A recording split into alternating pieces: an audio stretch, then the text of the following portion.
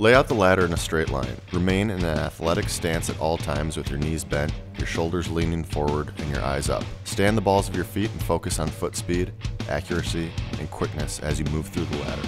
Forward Icky Shuffle. Begin by facing forward on one side of the ladder. Step into the first box with your foot that is closest to the ladder. Immediately follow with the other foot.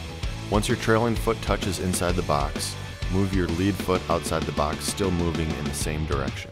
After your lead foot touches outside the ladder, move what was the trailing foot forward to the next box. That foot is now the lead foot. Quickly follow with your other foot. Repeat this for the full length of the ladder. Sprint out as fast as you can after you clear the last space.